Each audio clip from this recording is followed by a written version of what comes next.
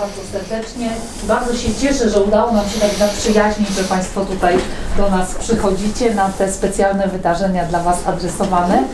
Dzisiaj rocznica wyzwolenia miasta Piły, przepiękna uroczystość przy pomniku, a teraz e, wykład pana doktora Macieja Osurskiego. Szanowni Państwo, dzisiaj chciałbym opowiedzieć trochę o e, postaci, e, której nazwisko myślę, że wszyscy znamy. Chodzi o kapitana Olega Matwiejewa. Człowiek ten miał do niedawna e, ulicę w Pile. E, Do 91 roku stał e, również pomnik, który w powszechnej pamięci mieszkańców był nazwany pomnikiem Matwiejewa. I chciałbym dzisiaj przybliżyć sylwetkę tego pilota, z racji tego, że jest on z piłą związany, e, zginął tutaj 14 lutego 1945 roku, więc dzisiaj e, obchodzimy również e, rocznicę tego wydarzenia. Oleg Matwiejew był e, jednym z oficerów e, lotnictwa radzieckiego, który w 1943 roku został skierowany do e, polskiej jednostki pierwszego pułku lotnictwa myśliwskiego Warszawa. No, w- literaturze i, w powszechnej pamięci jest uważany za e, symbol e, wspólnej walki e, polsko-radzieckiej z hitlerowskim okupantem. Mm, A także no, przedstawia się go e, jako bohatera, nierzadko również jako e, herosa, który e, tutaj dokonał walecznych czynów nie tylko nad Piłą, ale w czasie, w trakcie trwania swojej służby. Chciałem też o tym również powiedzieć i się do tego odnieść, no bo myślę, że dzisiaj jest znakomita okazja. E, Wprawdzie e, Matwiejew zginął młodo, ale miał dość bogaty e, życiorys i chciałem tutaj Państwu przybliżyć, przynajmniej w skrócie, życiorys tego człowieka. Otóż urodził się 22 sierpnia 1917 e, roku w miejscowości Głaskowo w obwodzie irkuckim, a więc na Syberii. Dzisiaj właściwie ta miejscowość jest jedną z dzielnic Irkucka i bardzo niewiele wiemy o jego dzieciństwie i, e, i wczesnej młodości. Wiemy jedynie e, tyle, że po e, zakończeniu rewolucji październikowej wraz z rodzicami przeprowadził się jeszcze wówczas do Piotrogrodu.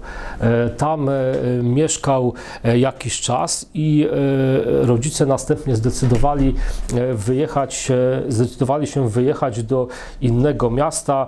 Miasto to nazywało się e, Wyszny e, Wołoczok e, i e, tam oni osiedli. Miasto znajdowało się pomiędzy już wówczas Leningradem a Moskwą.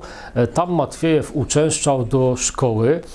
Ukończył w 1935 roku siedmioletnią szkołę zawodową imienia oczywiście Lenina, a następnie odbył taki roczny staż czy roczną praktykę u miejscowego tokarza. E, W, 1900, w tym samym okresie mniej więcej ożenił się z Olgą Demidową e, Suszko i wiemy, że z tego związku urodziła się córka e, Tatiana. To było jedyne, jedyne właśnie dziecko tej pary i bardzo szybko, bo już w 1936 roku Matwiejew zdecydował się wyjechać do Moskwy. Tam pracował w Akademii Nauk Związku Radzieckiego jako starszy laborant. E, Był człowiekiem e, no, e, dość ambitnym i chcącym osiągnąć coś w przyszłości, dlatego skorzystał z tej okazji, że był w Moskwie i dokształcał się. W 1936 roku, 1938 roku Matwiejew zgłosił się ochotniczo do lotnictwa Armii Czerwonej i rozpoczął naukę w Akademii Sił Powietrznych Zjednoczonych Robotniczo-Chłopskiej Armii e, Czerwonej, w Moskwie oczywiście. E, To była e, wówczas elitarna szkoła, która kształciła specjalistów dla lotnictwa Armii Czerwonej i właściwie od 1940 roku kształciła wyłącznie, wyłącznie techników, osoby, osoby nie pilotów, ale, ale techników, którzy mieli się e, zajmować między innymi uzbrojeniem. E, po ukończeniu, właściwie jeszcze przed ukończeniem e, tej szkoły, otrzymał awans na podporucznika i w momencie, kiedy ją skończył, został skierowany do jednostki wojskowej. Była to, był to 13 zapasowy pułk lotnictwa myśliwskiego. W Kuźniecku. To było gdzieś około 750 km od Moskwy. E, Jak sama nazwa mówi, e, takie pułki pełniły, znaczy były takimi pułkami, które e, szkoliły e, przyszłych pilotów, którzy mieli trafić na e, front. I właśnie Matwiejew do takiego, do takiego pułku trafił, zajmował się szkoleniem z zakresu uzbrojenia i prawie rok tutaj właśnie spędził w tym pułku w Kuzniecku i właściwie tutaj no, można powiedzieć taką przełomową datą, czy też przełomowym okresem w jego życiorysie był lipiec 1943 roku, kiedy skierowano go do e, tworzącego się e, pułku e, myśliwskiego e, polskiego. E, Początkowa, początkowo była to pierwsza samodzielna eskadra lotnictwa myśliwskiego, która bardzo szybko została przemianowana na pierwszy pułk lotnictwa myśliwskiego Warszawa. Po bardzo krótkim czasie, bo już w jesieni 1943 roku został zastępcą dowódcy pułku do e, spraw e, e, szkolenia w zakresie uzbrojenia i prowadził właśnie wykłady nie tylko dla pilotów, ale także mechaników, jeżeli chodzi o uzbrojenie. Tutaj przede wszystkim uczył, uczył pilotów i mechaników składania i rozkładania broni maszynowej, konserwacji, uczył takich e, podstaw dotyczących teorii e, balistyki, ale także e, warto pamiętać o tym, że zajmował się również teorią strzelania powietrznego, a więc uczył przyszłych pilotów, jak należy używać celowników, jak należy atakować cele powietrzne, cele naziemne, jak należy skutecznie zwalczać myśliwce, czyli prowadzić ogień, i odkładać tak zwaną poprawkę, żeby, żeby ten samolot trafić. E, Co ciekawe, m, piloci, przyszli piloci, e, którzy się u niego szkolili e, z tego pierwszego pułku lotnictwa myśliwskiego, zgodnie uważali, że był on świetnym wykładowcą, doskona, doskonale znał swój przedmiot i co ciekawe, co ciekawie potrafiał, potrafił e, przystępnie przekazać te wiadomości. Tutaj trzeba pamiętać, że e, były dość poważne problemy językowe, ponieważ e, mało tutaj tych pilotów polskich znało język rosyjski na takim poziomie, żeby rozumieć techniczne sformułowania, którymi Matwiejew się posługiwał na lotnisku Grigoriewskoje, gdzie formował się właśnie ten pierwszy pułk lotnictwa myśliwskiego. No mimo tego udało się e, Matwiejewowi e, wyszkolić wielu e, pilotów i mechaników. I Oleg Matwiejew był oficerem technicznym i e, właściwie e, nie był pilotem. Nawet e, kiedy dostał przydział do Grigoriewskoje, to w dokumentach figurował jako po prostu nielatający instruktor do spraw uzbrojenia i, i teorii powietrznego strzelania ale e, ci piloci, którzy e, się z nim szkolili, e, pisali potem we wspomnieniach, że pewnego razu uznał, że chce zostać pilotem myśliwskim i był na tyle zdeterminowany, że robił wszystko, żeby tego dokonać i rzeczywiście oprócz tego, że sam szkolił pilotów, to stał się również uczniem pilotem. Przeszedł kurs pilotażu. Tutaj mamy właśnie jego dwie fotografie. Po lewej stronie na tle właśnie e, Jaka 1B, po drugiej również on stoi po prawej e, stronie. Tutaj już oczywiście jest w mundurze e, polskim. Matwiejew szkolił się na kilku typach samolotów. Tutaj mamy dwa z nich. U góry po lewej jest samolot Polikarpow PO2, natomiast e, poniżej mamy e, szkolną wersję Jaka UT2. Widzimy wyraźnie dwie e, kabiny. Ta pierwsza była dla e, pilota ucznia, ta druga dla instruktora, z którym odbywano loty i właściwie szkolenie zakończył na tego typu samolocie. To jest samolot szkolny jak e, 7W. E, Właściwie e, pilotów, którzy e, przechodzili te, ten cykl szkolenia, dla, dla tych pilotów to ostatnim etapem szkolenia były właśnie loty na tym samolocie. One już bezpośrednio przygotowywały tych pilotów do e, przesiadania się na e, jednomiejscowe myśliwce jak e, e, 1B. E, No i tutaj mamy jeszcze takie rzadkie zdjęcie e, Olega Matwiejewa w kabinie właśnie tego Jaka 7W jako e, uczeń pilot. Z tyłu za nim widzimy, że siedzi instruktor. To jest jesień 1943 roku. Oczywiście e, ten pierwszy pułk lotnictwa myśliwskiego, w skład którego wchodził Matwiejew, e, przechodził szkolenie e, po to, aby trafić na front.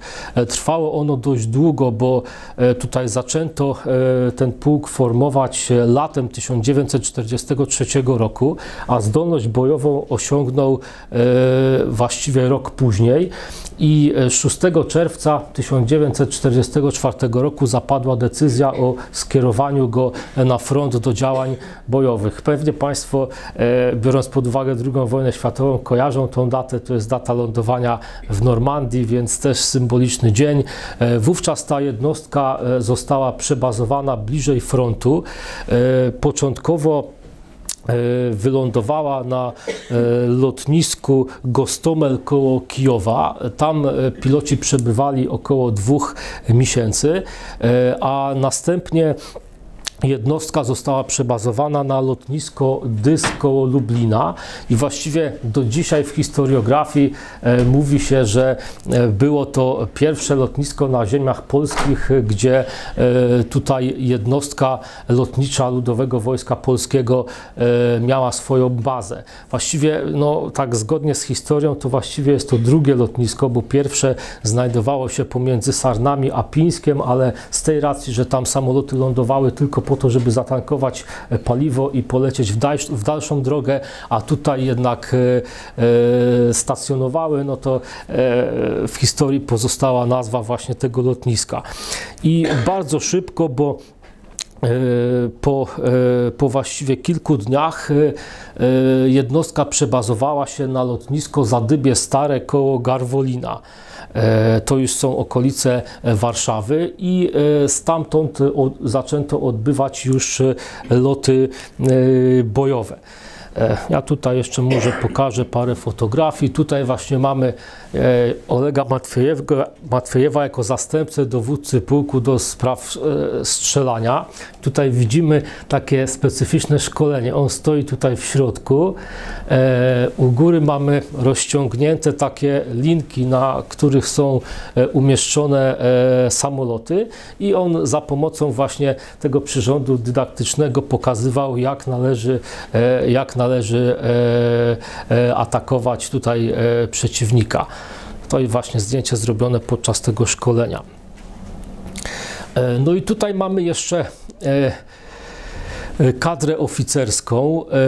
Tutaj trzeba powiedzieć, że w tym, na lotnisku, w tym Zadybiu Starym stacjonował nie tylko pierwszy pułk lotnictwa myśliwskiego Warszawa, ale też 611 pułk lotnictwa szturmowego, e, w którym większość pilotów stanowili Rosjanie, chociaż byli również e, Polacy, a także drugi pułk lotnictwa bombowego Kraków. I właściwie te trzy jednostki stworzyły e, taką większą strukturę. To była czwarta mieszana dywizja lotnicza. I tutaj właśnie mamy oficerów tej, e, tej dywizji. Oni zostali sfotografowani na tle e, dworku w Zadybiu Starym, gdzie e, ci oficerowie kwaterowali. Matwiejew jest tutaj pierwszy e, z prawej na tej fotografii, w takiej kurtce skórzanej.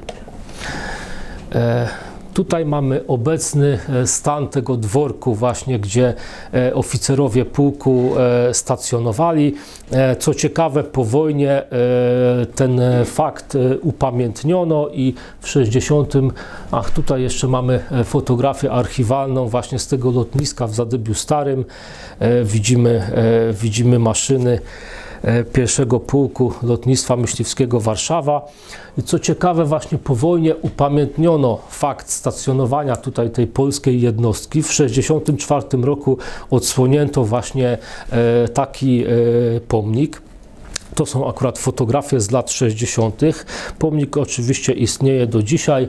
E, Wygląda mniej więcej e, w ten sposób. Tutaj właściwie jest e, statecznik od samolotu, głównym elementem tego pomnika, ale jest też tablica, która upamiętnia fakt, że 23 sierpnia 1944 roku z tego lotniska piloci pułku wykonali pierwszy lot bojowy.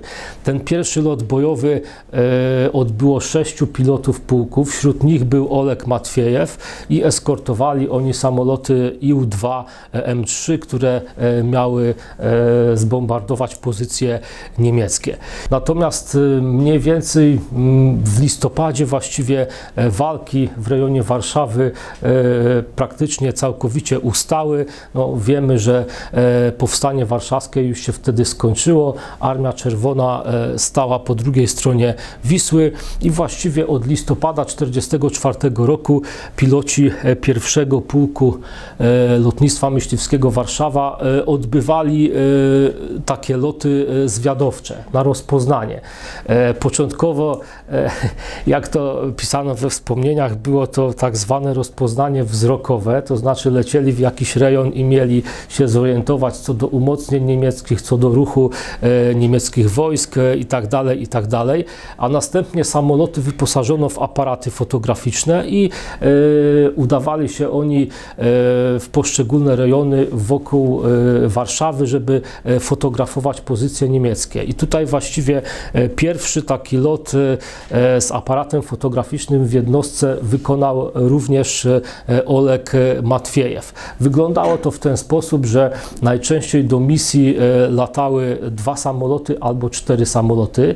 E, Jeden z nich albo dwa e, fotografowały, natomiast e, jeden lub dwa kolejne osłaniały te samoloty. W przypadku ataku myśliwców wroga no było to konieczne.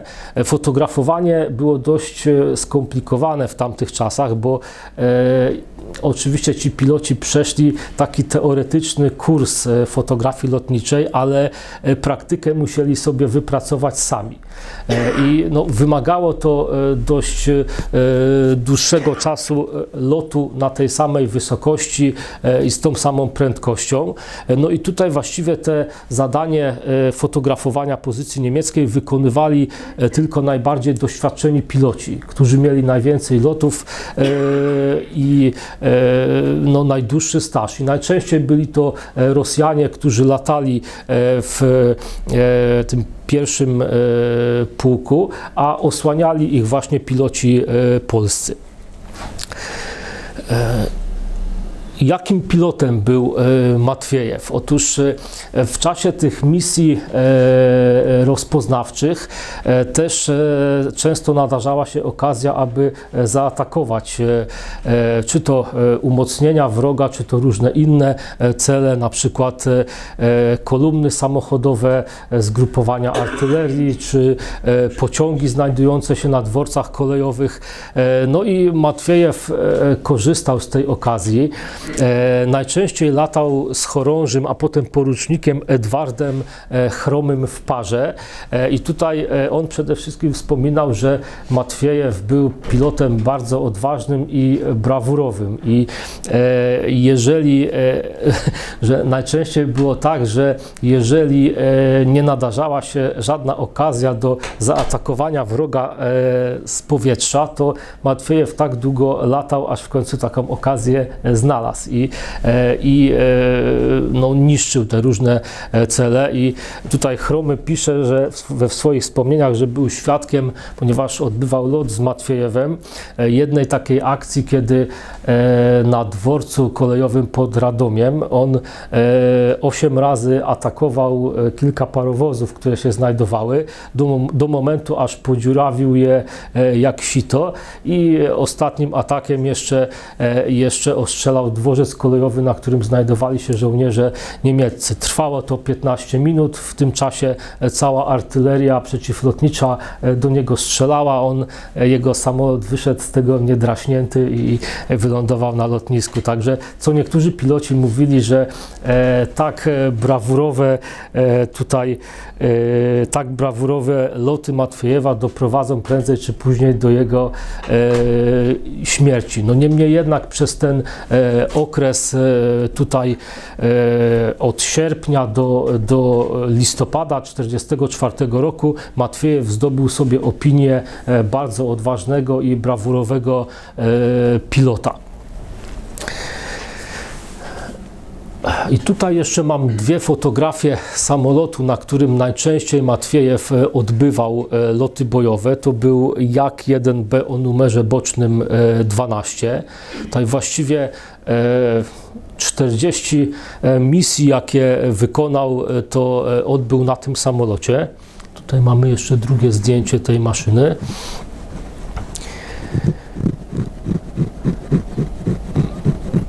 No i tutaj jeszcze też taka ciekawostka za mm, swoją służbę tutaj e, w pierwszym pułku lotnictwa myśliwskiego. Jego dowódca e, podpułkownik e, Iwan Taudykin e, wysłał wniosek do dowództwa o, oznacze, o odznaczenie Matwiejewa Orderem Czerwonego e, Sztandaru. Miało to miejsce w styczniu 1945 roku. E, Ja tutaj e, mam ten dokument, także pozwolę sobie odczytać Państwu jego fragmenty. Podpułkownik Taudykin pisał w ten sposób. Kapitan Olek Matwiejew lata na samolotach jak 1, jak 9. Jego ogólny nalot to 522 godziny e, i 1060 lotów. Walczy na froncie wojny ojczyźnianej od sierpnia 1944 roku.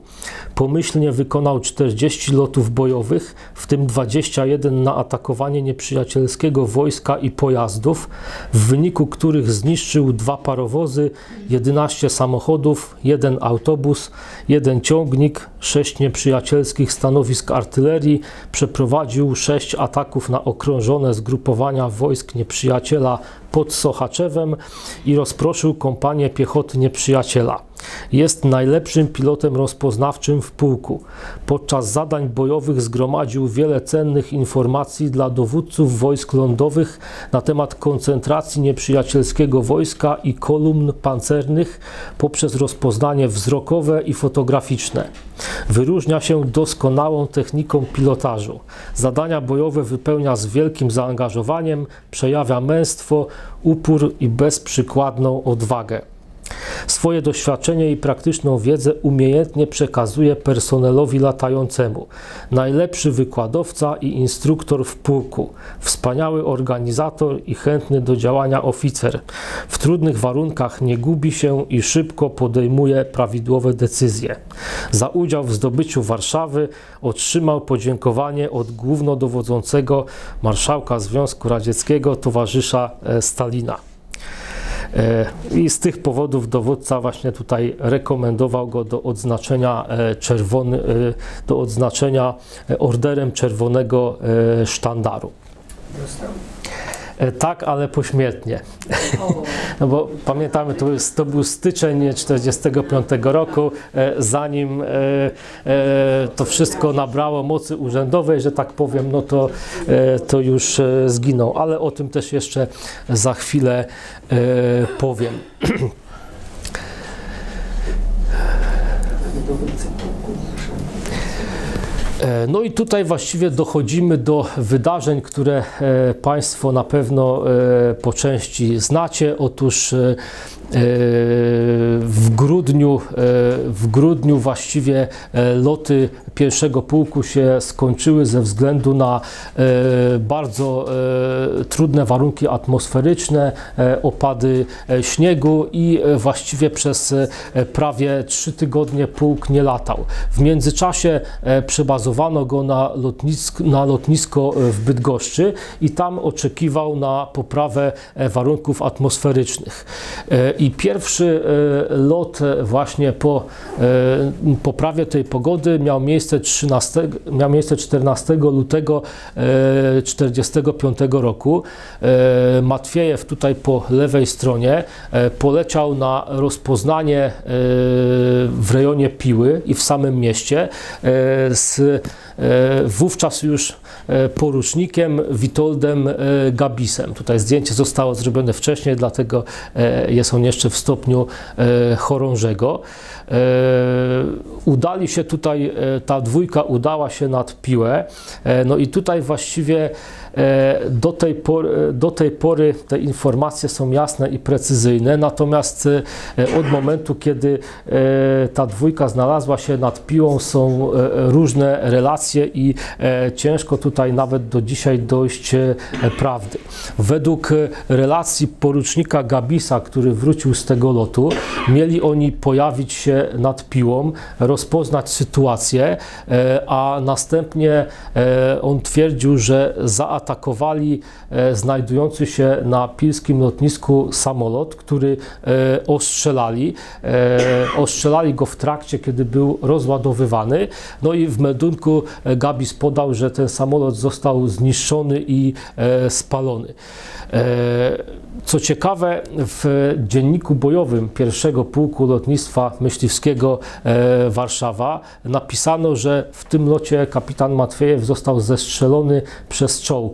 E, No, pomijam fakt, że e, nie słyszałem nigdy o e, takim zdarzeniu. To się, to się zdarza chyba tylko w filmach z Jamesem Bondem.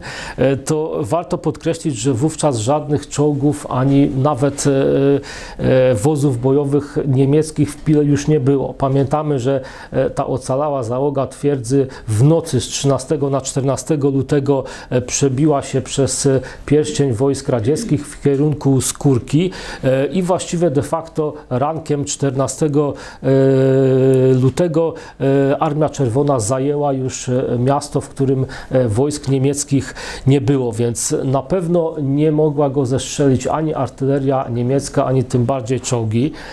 Wydaje mi się, że tutaj wersje mogą być dwie. Albo po prostu maszyna, na której leciał Oleg Matwiejew, uległa uszkodzeniu i samolot się rozbił, albo zestrzeliła go omyłkowo radziecka artyleria przeciwlotnicza. No tego w meldunku e, raczej nie można było napisać, czy też było to niewskazane. E, dlatego no, takie informacje nie mogły się tam pojawić. Myślę, że sam porucznik Gabis nie widział momentu, e, kiedy e, Oleg Matwiejew Matwiejew się e, rozbił. No, niemniej jednak bardzo możliwe, że e, oni mogli ten samolot, o którym mówił, atakować, ponieważ e, tutaj mamy fotografię samolotu transportowego Junkers Ju-52, który był porzucony na polowym lotnisku przy obecnej Alei Powstańców Wielkopolskich. To jest mniej więcej dzisiaj rejon restauracji Tarcza. Tam było takie polowe lotnisko, e, które e, były, tak, które było wykorzystywane właśnie przez Niemców do zaopatrywania e, twierdzy. Te samoloty latały w nocy, przywoziły amunicję, żywność i wyposażenie, a wywoziły rannych i cywili. I 12 lutego został porzucony właśnie ten samolot na tym lotnisku. No widzimy wyraźnie, że ma on mnóstwo dziur w kadłubie. Być może są one efektem właśnie tego ostrzału. Ten samolot jeszcze w, lat w latach 40. e, e, na tym polowym lotnisku e, stał. Tutaj widać, że stał się obiektem no, fotografii. Tutaj mamy kolejne dwa zdjęcia, na których mieszkańcy piły się właśnie fotografowali z tym samolotem. Także jak było dokładnie i jak zginął Oleg Matwiejew, e, trudno dzisiaj już, e, e, dzisiaj już to jednoznacznie rozstrzygnąć. Na pewno tutaj rozbił się w pile. Bardzo szybko szczątki jego samolotu odnaleziono i już 15 lutego odbył się jego pogrzeb w Bydgoszczy. I do dzisiaj na cmentarzu w Bydgoszczy tam jego szczątki się znajdują. E, Był tutaj w mieście e, pomnik, który e, mieszkańcy powszechnie nazywali pomnikiem Matwiejewa. Stał przy Alei Niepodległości w dawnym parku Loży Masońskiej. To jest w ogóle pierwszy powojenny pomnik, jaki się tutaj pojawił. W latach 40. E, Tutaj e, za tym pomnikiem był też cmentarz żołnierzy Armii Czerwonej, którzy polegli w walkach o miasto. Później ich wszystkich ekshumowano i przeniesiono e, na cmentarz w Leszkowie. No, wszyscy znamy ten pomnik, kolumna stojąca na, na szerokim podejście.